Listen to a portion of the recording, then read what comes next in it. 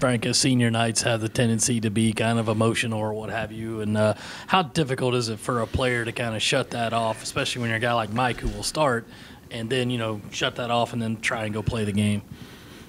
It's really hard. It's, uh, it's, it's probably the most difficult uh, game day prep uh, that I ever go through every single year.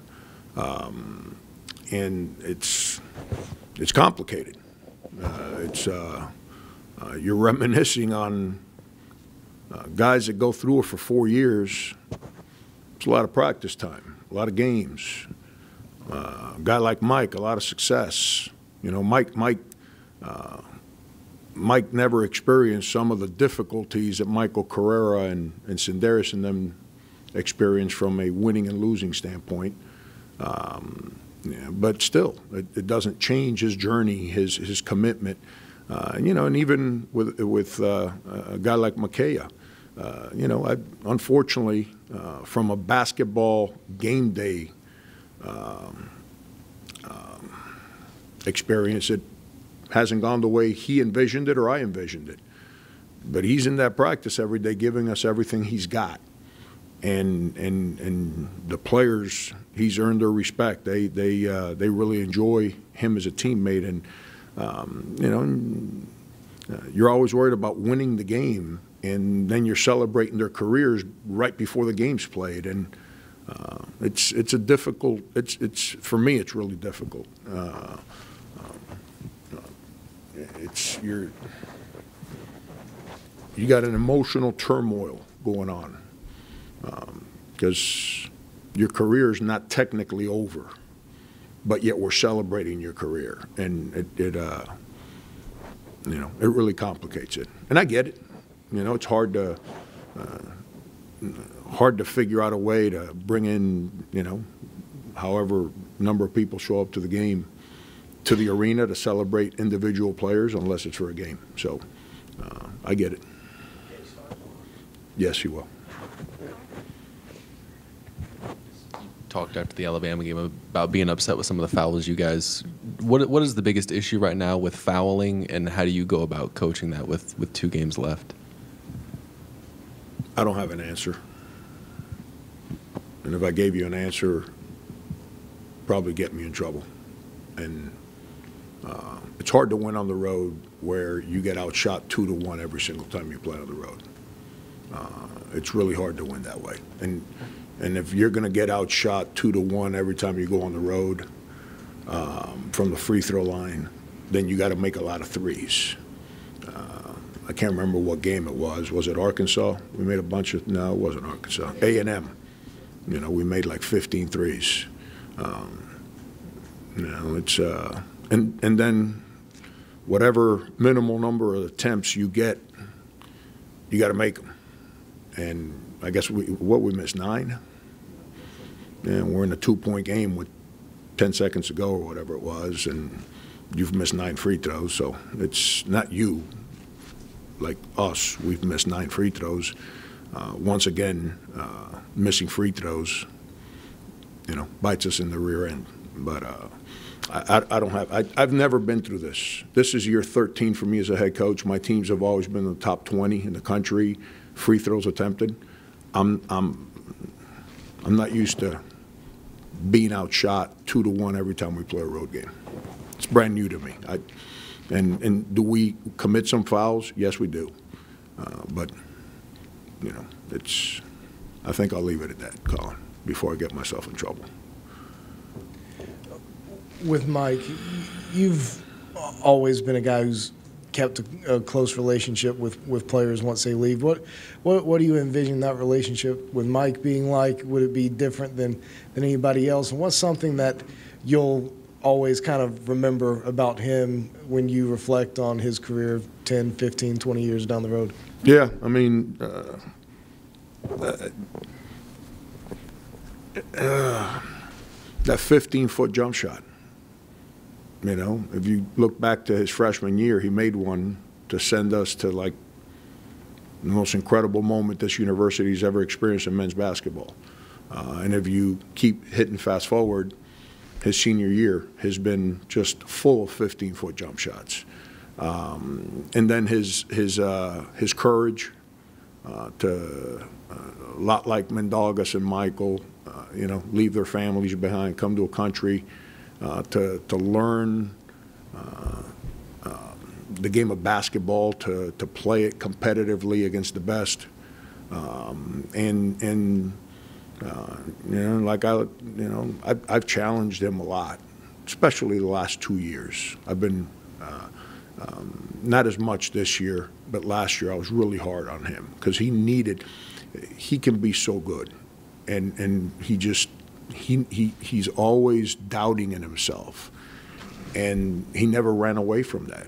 Um, you know, he went through his journey, uh, which every every one of their journeys is you know they're different. It's not there's not a book that you can go to you know coach go home frustrated open up the book let me read chapter seven and see how you deal with Mike Kotsar and his journey. No, it's every journey's different and you have to uh, go through it with that person and uh, um, and he never never ran away. You know, whether it was from not playing well, whether it's from the responsibilities, whether it's me down his throat to play better. Um, uh, he, he, he's continued to grow, and that's all you ever ask for as a coach. And uh, to, uh, as to our relationship moving forward, I think he and I got a real good relationship. Uh, um, I don't expect it to be any different than it is with majority of those other guys. You know, I'm not going to sit here and tell you my relationship with every former player is great. It's not, uh, but I think uh, um, the majority of them and I have unbelievable respect for each other. What's it been like seeing Mike interact with his family this these last few days? Yeah, that that's you know, Josh, that's the the part um, that um, it's a little different. You know, if you're from Georgia and you play South Carolina, or you're from uh, you know Tennessee and you play in Texas somewhere, you know, it's a little different because. Uh, anytime there's a long weekend, you can always have access to your family if you choose to.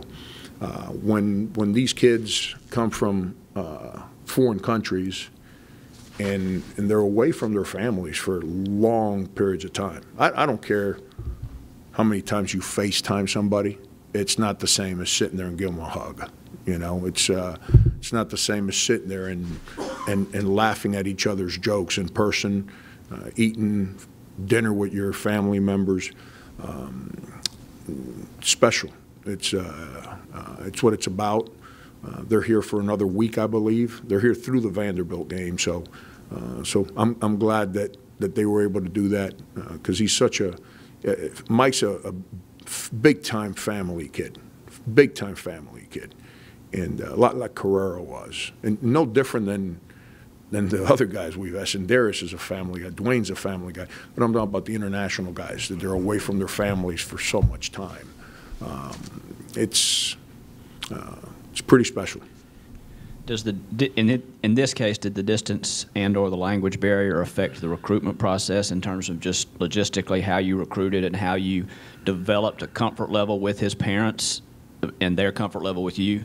Yeah, that, that that's a little more difficult when you recruit them directly from their countries to come to the United States. But the ones like Mike that make the decision to come to high school in the United States, that re the recruitment there is a little different. You don't have to overcome that challenge that you just brought up. Uh, that challenge was already uh, uh, addressed, and everyone's at peace with it to go to the high school. and, and then once it's college, it's it's kind of you know best opportunity for them academically. Uh, uh, most European kids, uh, choice of a major is a is is huge in their recruitment, um, and uh, uh, luckily for us, uh, basketball, academia, socially. Um, you know, weather. Estonia is a really cold city. It's country, excuse me. Um, it's um, being able to go to school somewhere where you don't have to deal with. Mike loves the beach, loves the water. Uh, going to school somewhere where you know weather's more conducive to being warm than cold uh, had a lot to do with it. it kind of it was a uh, his recruitment was pretty easy from that standpoint, along with what I've expressed before. You know, my relationship with uh, the club team coach at his hometown, who his family fully trusts and, and, and uh, the, the level of trust that exists between he and I just made it more comfortable and a lot easier in the recruit, recruitment process. kind of a two-parter here. First, what was it about Mike that in his freshman year kind of led you to say this is a guy we can rely on as much as you guys ended up doing? And as a coach, what is sort of the level of satisfaction of seeing a guy who you were really hard on for two years kind of deliver and blossom in his last chapter as a Gamecock? His freshman year, was just, uh, you don't play guys you like. You play guys that, that accept responsibility. And he accepted responsibility better than other freshmen or first-year players on that team. And um, that team had a void because of what had happened the year before with the guys that didn't stick, didn't stay here uh, with the BB gun situation. So that team had a void for a front, you know, front court player. And there were three or four guys that had an opportunity, and he was the most responsible uh, with attention to detail of all those guys. So that's why he got the nod to go. And, uh, and then he, he never did anything to lose it. Uh, he, he, his teammates trusted him, coaches trusted him. Um, we wanted him to do more, but as a freshman that's surrounded with so many, think about the guys that he was surrounded by. Sindarius, PJ, Duane, Chris, I mean, real good players. And, and they took on all the responsibility, so uh, he was at peace with, a lot of guys want more responsibility, but they're not prepared for it. So when you don't give them more responsibility, they, they get frustrated. Mike was at peace with the responsibility that was given to him for that team, and that's that's kind of why he played so much as a freshman. And as a coach, it's uh, uh, whether you yell at them or you don't play them much or you yank them in and out of games, or they have a career where they play 38 minutes a game, or they have a career where they play three minutes a game. All that is different with each player. All that is irrelevant for what really matters their growth. That's the only thing that matters.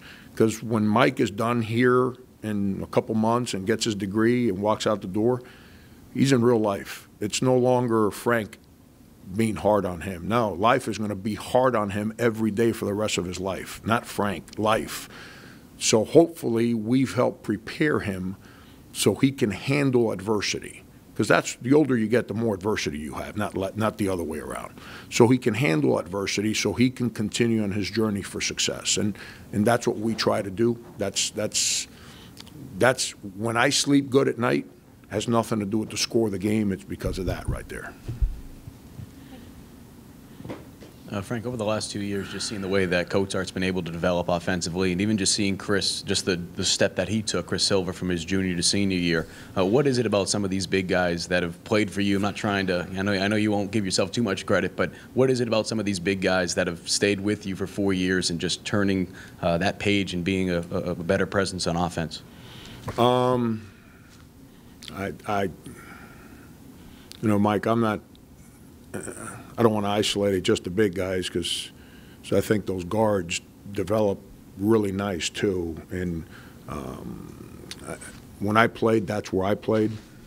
Um, you know, I played with my back to the basket, and um, and it was about screening and rebounding and doing all that stuff that nobody teaches at the high school. I shouldn't say nobody.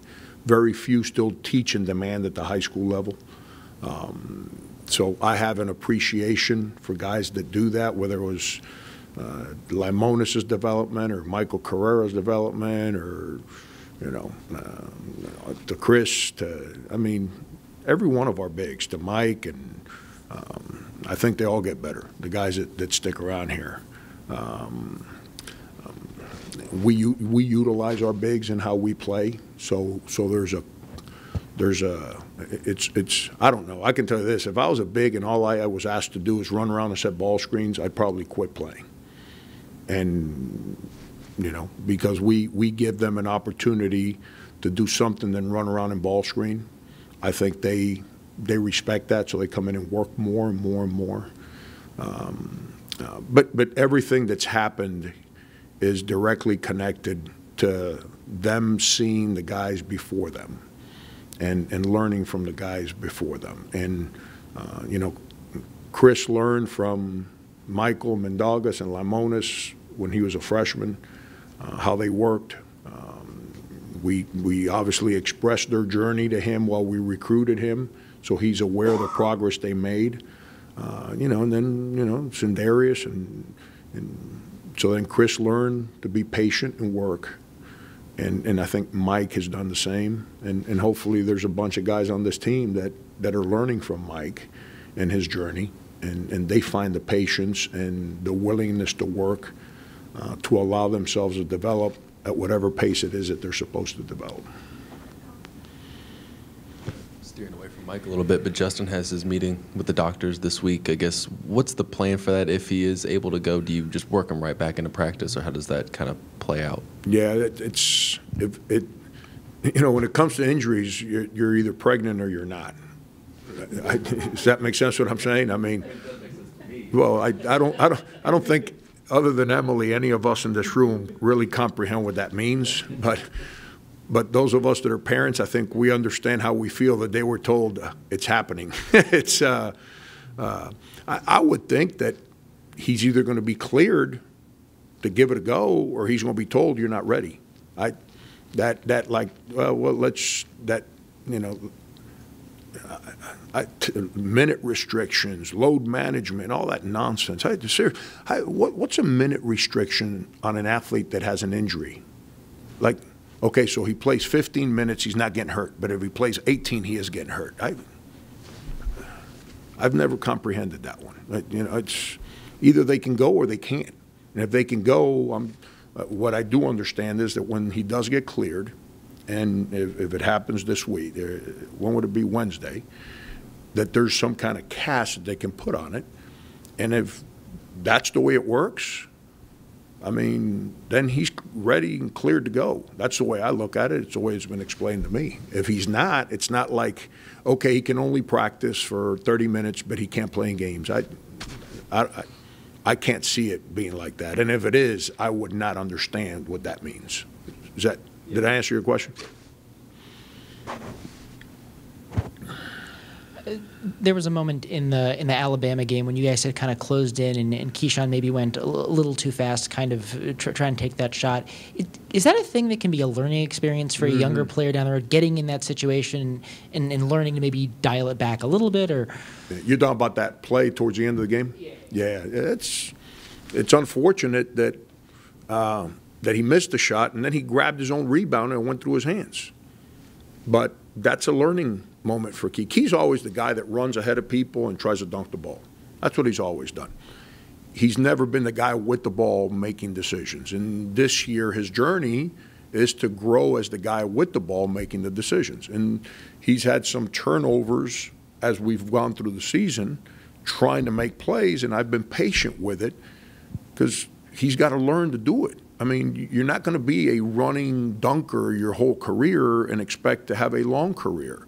Uh, that's who he is, but he's got to become a better basketball player. And to become better, as long as they work, as long as they listen, as long as they're competitive, I've got to kind of let them go a little bit. The guys that don't work and and don't want to listen, I got no problem with that.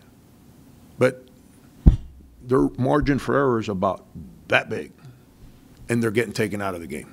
The guys that actually try to do the things that we ask – then you got to let them go. And, you know, usually you don't succeed before you fail. And the ones that don't, then don't know how to handle failure because we're all going to deal with failure. And so you got to let him go a little bit. And, and he's, he's had mistakes because he's been over aggressive. And he's got to learn when to be aggressive and when not as aggressive, but there's only one way to figure that out. But that play there, it's, I mean, uh, uh, after it happened, I was yelling past the ball because AJ was running ahead of him on the left wing, and he could have passed and gotten it back. Uh, but you know what? Bless his heart.